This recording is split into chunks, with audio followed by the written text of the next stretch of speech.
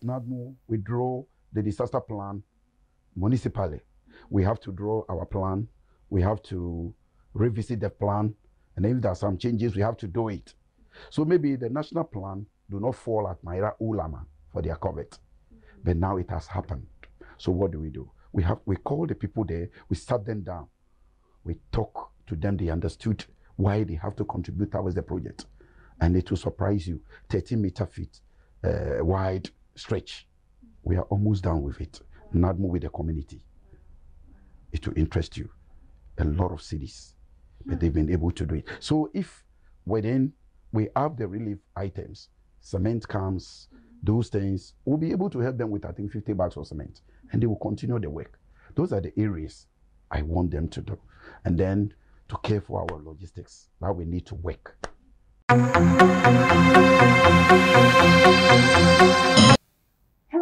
Welcome to another episode of Broad Daylight with me, Pressmore. Today I'm having Mr. Randolph Asheti Mensah. He's the director of NADMO for West Municipality here in Amasaman constituency. And today we're talking about um, some duties of NADMO and a way forward as an organization. Sir, please, you're welcome. Thank you, madam. I'm glad to have you this morning. You're welcome. you, you guys are doing a lot um, in terms of curbing of disaster. But we know we've all heard the story of what is happening in Keta. I, will, I want to pose a particular question to you concerning the issue of sand winning. I learned sand winning it's, it's, a, it's a major cause of um, disaster when it comes to tidal waves. I want to also hear your side of the story. What do you actually make of this particular statement that is um, creating headlines even in Parliament? Really talking about the sand winning activities. Really, if you turn back for the past years, you see the Almighty Creator, He creates in His own wisdom that namely when there is a rainfall, automatically the water sinks down. Yeah. But now, by winning the sun, automatically there will be some sort of flooding. And after flooding, when the particular area is filled, definitely the water will be running off. And as such, I think it is an albatross that lies on the head of the municipal assembly. And so based on that, not NADMO will move with indicators because for us, it is prevention. If we can, in our uh, capacity, if we can do anything to prevent it. But you know, disasters, you cannot prevent it. You can't prevent it entirely, but you try to mitigate it. So normally we find indicators, we go around, we see the red indicators at this area, this is what we're supposed to do, this is what we're supposed to do to prevent it. So we call something deterrence, uh, the, the, the deterrence operation surveillance. Okay. Normally, before it starts raining, we go ahead of time to do that. Then bring some key areas that this area, this is what can happen there. This is what can happen there. So we have to do this. We have to do this. We have to do this. That is the method of prevention that we go about it. So uh, when you are talking of sand winning, we in this Ga West Municipal Assembly, as an organization, with all our recommendation and a plan that we have towards sand winning, it look as if the whole Accra is developing. And now Amasaman is the only place we have land. People running down to this place. At the same time, the people need sun for development. So we have measures. We have to keep in some, we have to have some mechanism in place to stop these kind of activities. Some like uh, raising the taxes we impose on those tipper trucks because automatically you can't stop the person at once that stop doing it. We have measures that we have to put in place. And as such, we've put a lot.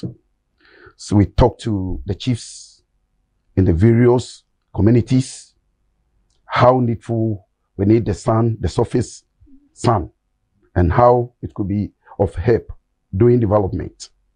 And the reason why not to win it. So we go ahead with education.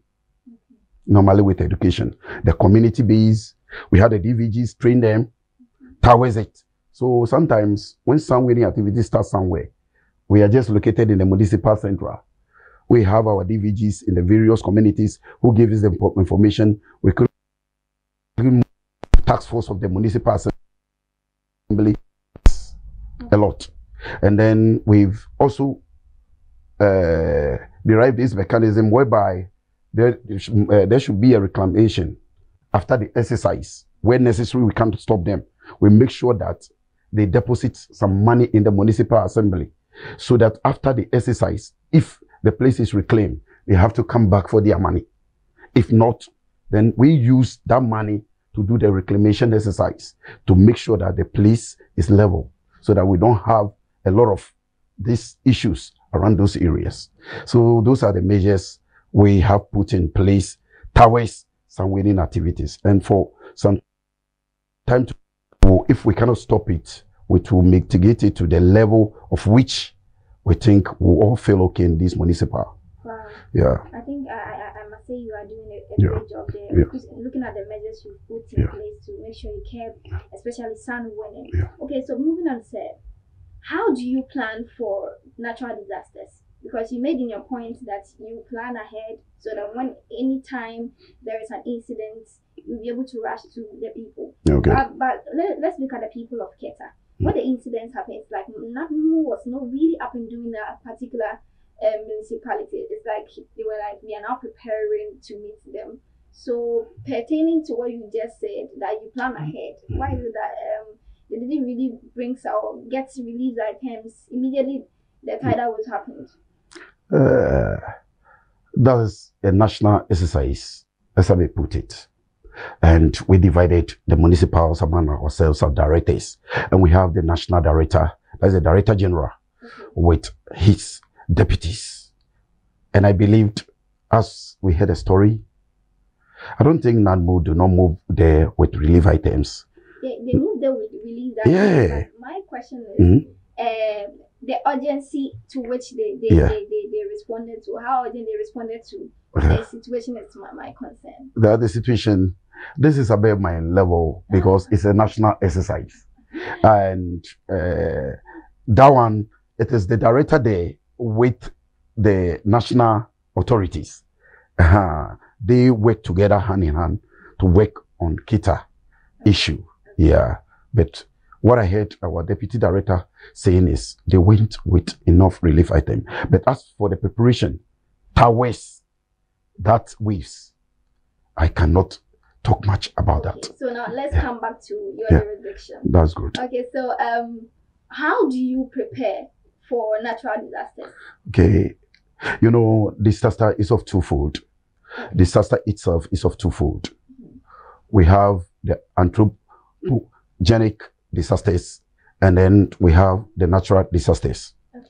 When we are talking of anthropogenic, we are talking of the man-made disasters, either by man activity directly or indirectly. Yeah. And then we have the natural disasters. So for instance, uh, our work, NADMO, actually is, how do I call it?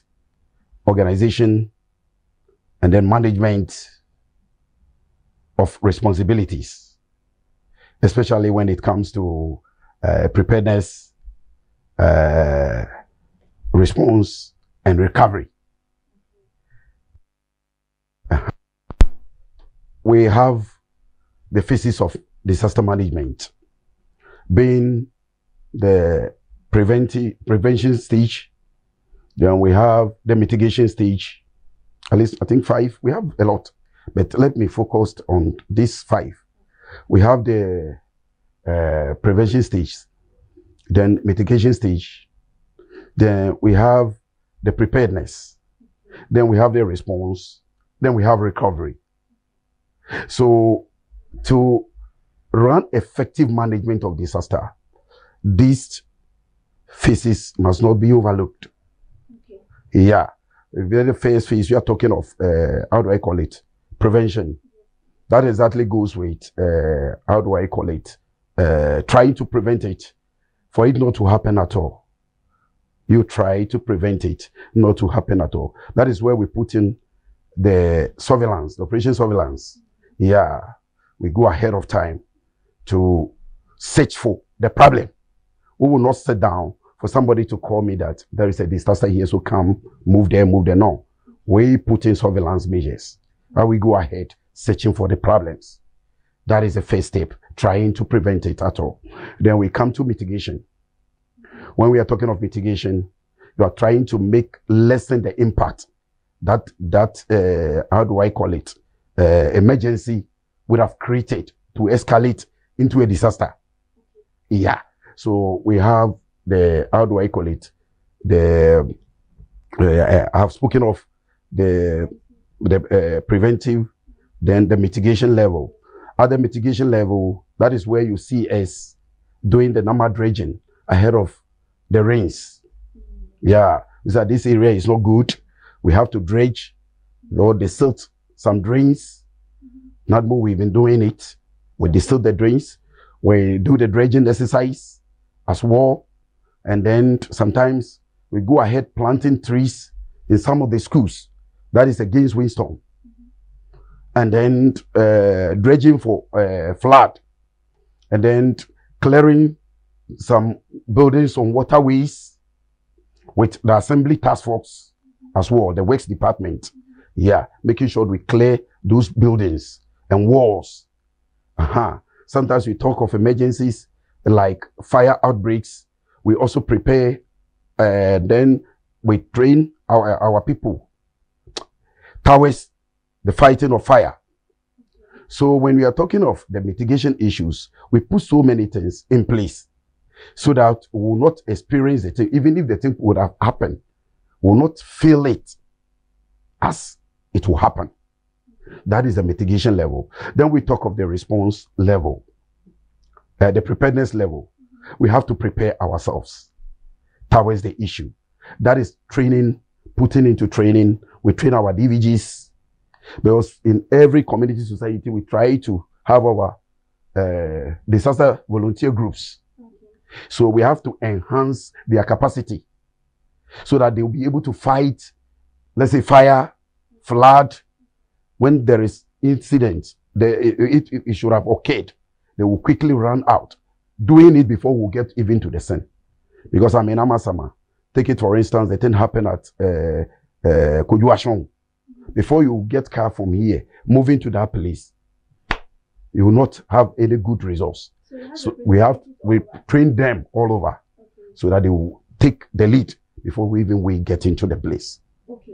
So there, those are the preparation we put in place so that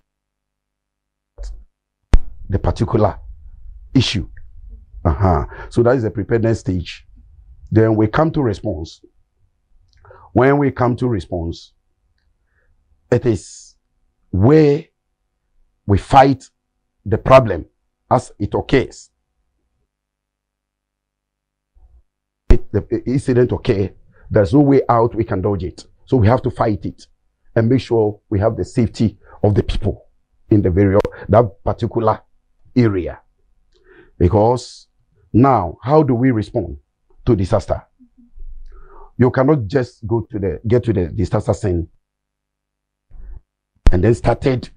No, you will kill yourself at the end of the day. So we are trained in such a way that as soon as we get to the scene, we put certain measures in place. Number one, we have to, I mean, have facts about the incident. We gather facts. We have to gather facts. Then we have to have evidence based. Mm-hmm. After the evidence based, then you put yourself into a crisis mood. Really? Yeah. And how is that possible? Can, can you no, no, no. Those people who are facing the problem, mm-hmm. you you feel like part of them. Okay. Uh-huh. You have that mindset. Yeah. Then after that, you have to do evaluation quickly. Then you plan before for your response. So this time, as I'm coming out, if there's a disaster scene, I have my men behind me. Whilst we sit down, they will be planning, back, back, back, back, back, back, back, because this is the area You have to pass here. There's a tunnel there. You have to do evacuation here. You have to do this. You have to do that. You have to do this before you enter. So we don't just enter into disaster scene and just respond to the disaster. Okay. We don't do that. Then finally, the, the plan that they have, their plan will tell you that from here, you pass here. From here, you take this place quickly before we carry on with our work. We go ahead with our work. So these are the measures we put in place. That is a response act. Then after the response, what happens next? It's recovery. Mhm. It's recovery. You have to try to recoup the people back to the stage where they were, the normal position, if not near to the position that they were before. That is where we try during after the disaster, maybe we move heavens all over Masamai. Areas, safe heavens, we are talking of a place that the people can move to in terms of any disaster. Okay. Safety place. Uh-huh. So quickly, because we will come to an area, you see that the place is overpopulated with a threatened population. You have to make sure that you divide them or quickly move them from the place to. And so when you are moving them to, from the place, where are you taking them to? Okay. That's the first thing. So we have some churches, we have some schools that if we have a problem here, we have to move the people to those areas quickly. Then after that, during the period of response again, there we come out with our relief items. Before the relief items, Mhm. ca- can you mention in this jurisdiction Mhm. your safe um, heavens? Uh, we have the Methodist school at Achim, uh, Ama- how do I call it? Uh, satellite. We have uh, Presby at Mahia. We have we have a lot of them So all over. in, in, in every Every areas we know that they have such problems. okay. We plan for those areas. So so So we have the data, and then we have our safe events in every part of the municipal. so um since you you you your in your tenure of office, Mhm. which place is really prone to natural disasters? uh, natural disasters normally that we face here is normally sometimes the natural disasters we have uh, a lot of places. First, I was an overseer with uh, both the north and west, Okay. and somewhere like a veterinary Ofankor. is typically flood prone area. You know that when it rains, that place got flooded. You have some part of Achaman, Oduman, uh, mid-year, when you get to Tree of Life, then mid-year cemetery down, all those areas are flood prone areas. So definitely when it starts raining, we let our men get ready for those areas. Okay. And then behind uh, Rush Company, Kotoku, Uh, we have the same issues there. wow. Yeah, we have a lot, a lot. But normally, the work we are doing ahead of time is mitigating the problem.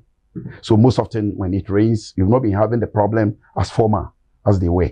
Okay. Uh-huh. Looking at the Ofankor, Mhm. is it the barrier? The cemetery, going to After Mills, going down to Aushi Road, Okay. I believe, uh, how do I call it? There's a filling station right there, Exactly. veterinary, the veterinary. Now it's now in Ga North now. There was a curved Ga North out of west. So now I'm here. Okay. And then that Ga North is here.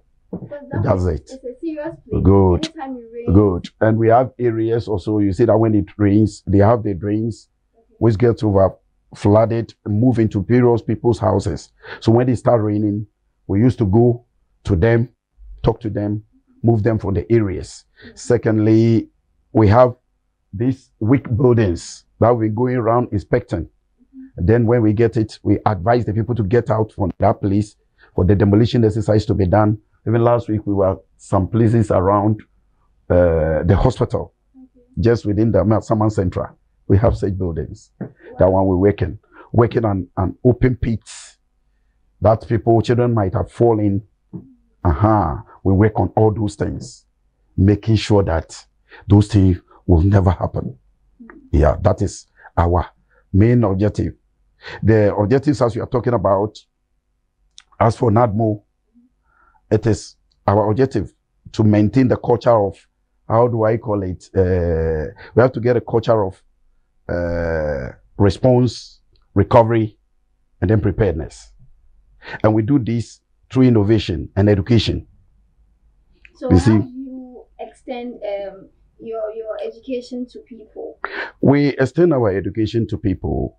Most often, churches. We go to churches. We educate them. We go to the communities. We educate. We educate them. Schools. We do education because we cut them young. Yeah, we start training them. As yeah, so we have lorry stations a lot that we've been going all over doing set trainings for the children and then the people as well. Because I'm supposed to be in some of the centers they are writing now as I'm speaking with you, monitoring the distances and then also. So NADMO, there's a lot. Hmm. We there's a lot. Okay. We- So there's a lot. Wh- what do you get support from when it comes to funding? You see, actually, when it gets to funding, it is our national office. Sometimes they send us, how do I call it, our interest in the various offices. And then where the municipal assembly also find it worth and they see the good work we are doing, they also at times support us. Okay. Yeah, normally. So um, today is 16th. You're expecting that the finance minister will read the budget today. What do you expect for for for your organization? Uh, for my organization, actually, we deal with relief. Mhm. So that aspect must be looked into very well, detail.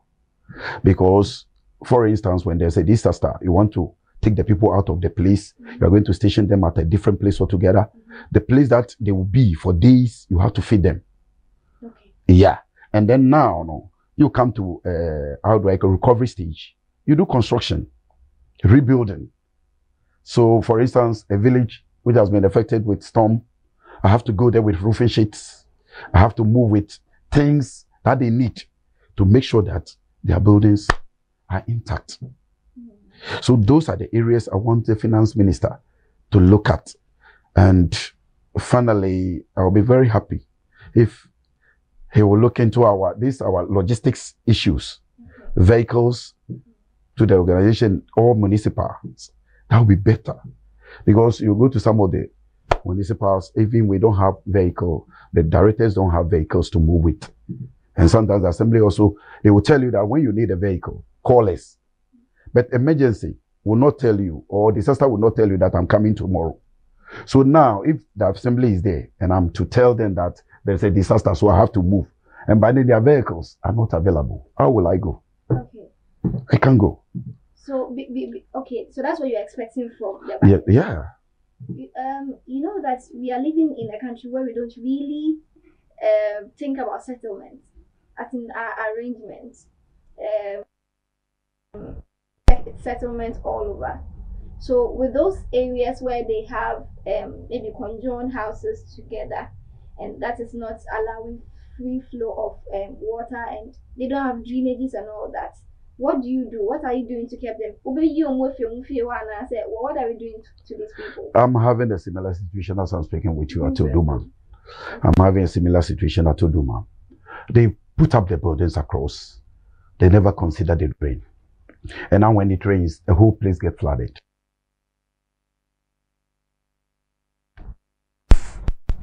Environments, I have, I sat with them.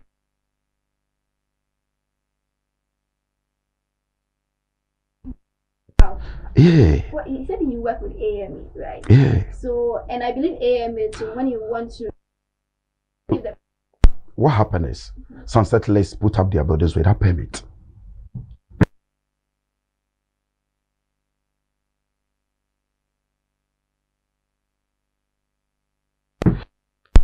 Finish with the building. And Pello, I've not been seeing the municipal assembly going down demolishing those buildings. Mm. No. Once the person is finished, maybe a penalty. He'll come and pay, and then maybe the permit will be given to him. But if the person pays But- So now, no. that's how is it? Normally, the problem is when you give the permit Mhm.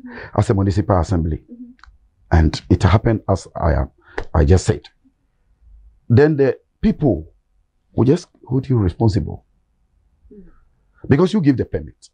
So normally, when it happened like this, I quickly write to the municipal chief executive. We will minute it to the that particular department, And then we make sure that, as I'm saying now, we are going there with the uh, physical planning department. They deal with the local plan of the area. And then the works department as well. Then feeder roads as well. Okay. So when we move to the place, they will tell us that this area is water. This area is a road. This area is this. So now from that very, the, from the field, you know that you've already committed yourself. Because when you put up your building, you are blocking the entire water. And so that building must go down. Wow. Yeah, it has to go down. So, uh, When they come to the west, it has to go down. assuming I'm a victim, Yeah, I put up a three-story building, yeah. and um, maybe I went for a permit Mhm. Before building. Yeah. I finished building, and they tell me maybe they need a place for a road construction, or it's it's a It will, it will never happen. really The reason being that before going for the permit, we have a committee in the assembly, special planning committee. They deal with permit. So